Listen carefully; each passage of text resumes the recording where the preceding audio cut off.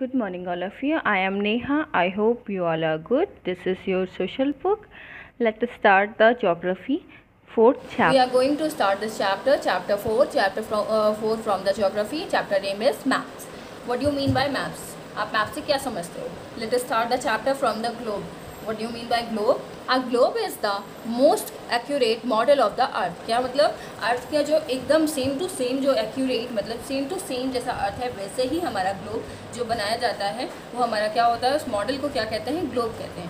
ठीक है? तो इसके हैं it is a small but of the same shape as the earth like a ball और a sphere slightly flatten at the pole मतलब थोड़ा सा चपटा हुआ कहाँ पे होता है? पोल साइड में। A globe shows like the exactly directions, correct shape and relative size of the ocean, continents, islands and sea. It also shows correct location of the different place and feature in relation to one another. However, the globe has limitation as well. A globe can useful when we want to study the earth as a whole. But when we want to study only a part of the earth as, uh, as about our country, state, district, town or village, it is of this little help. In such a situation, we use a map. क्या है globe से हम study कर सकते हैं continent पता कर सकते हैं लेकिन अगर हमें एक एक्यूरेट जगह के बारे में पढ़ना हो तो हम क्या यूज़ करते हैं map it is difficult to handle the large globe in a small space. The globes cannot be represent detailed information. It is difficult to prepare a book of globes representing various features and themes. Maps with the different themes are not more convenient to carry than even fold globes with different themes. It is easy to handle maps or fold sold और carat around easily ठीक है? Globe तो क्या है? अब globe है क्या? Globe बहुत ज़्यादा स्पेस लेता है स्मॉल स्पेस में नहीं आता है। उसको हम ग्लोब को फोल्ड करके नहीं ले जा सकते कहीं भी। लेकिन क्या है? ग्लोब अच्छा दिखता है अट्रैक्टिव भी होता है, लेकिन हम कहीं और उसको उठा के नहीं ले जा सकते। बहुत हैवी होगा हमारे लिए। लेकिन हम मैप को लेके जाते हैं तो हम किसी की बुक के अंदर या फोल्ड करके उसको या तो रोल करके आराम से हम रख सकते हैं कहीं भी। चलिए नेक्स्ट आता है map map a map is a representation और a drawing of the earth surface और a part of its drawn on a flat surface according to a scale ठीक है, एक मैप क्या है? रिप्रेजेंटेशन है या ड्राइंग है हमारे अर्थ सरफेस का जो पार्ट है हमारे अर्थ का, उसे फ्लैट सरफेस है जो ज़मीन है हमारी, उसके अकॉर्डिंग जो स्केल के अकॉर्डिंग बनाया जाता है, उसको मैप बोलते हैं। ठीक है? Different features the words are marked on the map with the help of the certain samples, words, lines and colors. A map is not a, as accurate as a globe.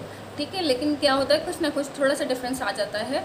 Word mark किया जाता है map में help the certain sample globe की मदद से line खींची जाती है वर्ड्स लिखे जाते हैं।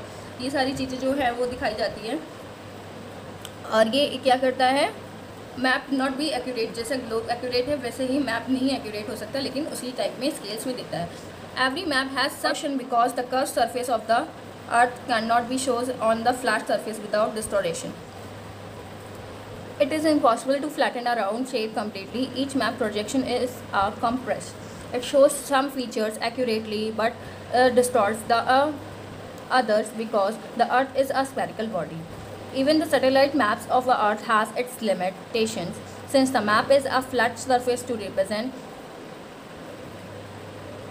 represent the spherical earth the north oceans are the stretched out on it a map is a two-dimensional representation a map is a two-dimensional representation of the earth and uh, but the globe is a three-dimensional model however the globe cannot represent land form in the three dimensional तो इसका ये है अ, ये कहना है कि अगर हम मैप को प्रोजेक्ट करते हैं तो छोटे छोटे कंप्रेस करके उसको थोड़ा सा जूम करके जिसे बोलते हैं प्रोजेक्ट करते हैं और एरिया के बारे में हम डिफाइन करते हैं। अगर हम इसी तरह ग्लोब को देखें तो ग्लोब एक थ्री डायमेंशनल मॉडल है मैप एक टू डायमेंशनल है। टू डायमेंशनल हम जो ड्रॉ करते हैं और थ्री डायमेंशनल जिसे हम टच कर सकते हैं और जिसे उभरा उभरा महसूस कर सकते हैं। तो हम टू डायमेंशनल में क्या कर सकते हैं, हम बहुत सारी फॉर्म को शो कर सकते हैं, लेकिन हम ऐसा छोटे छोटे एरिया को लेके और सबको हम डिफाइन नहीं कर सकते। अब स्टार्ट करते हैं. वी ए नेक्स्ट पैराग्राफ है. We find the maps are useful to us for a various purpose हम वेरियस पर्पज के लिए मैप को यूज़ करते हैं. जैसे क्या है? Map shows a small areas of few facts another map में contain as many facts as a big book. some maps provide more information than a, than our globe. अब मैप को देखो तो एक छोटे एरिया का इन्फॉर्मेशन वो देता है हमें और उसके कुछ फैक्ट्स बताता है इसी तरह हम छोटे छोटे और सारे बहुत सारे मैप्स अगर कलेक्ट करें तो अलग अलग एरियाज़ की तो हमें क्या होगा बहुत सारी इन्फॉर्मेशन कलेक्ट होगी लेकिन ग्लोब में ये सारी इन्फॉर्मेशन हमें नहीं प्रोवाइड हो पाती है नेक्स्ट आते हैं The information on a map depend on its uh, purpose. The maps are useful to everyone today.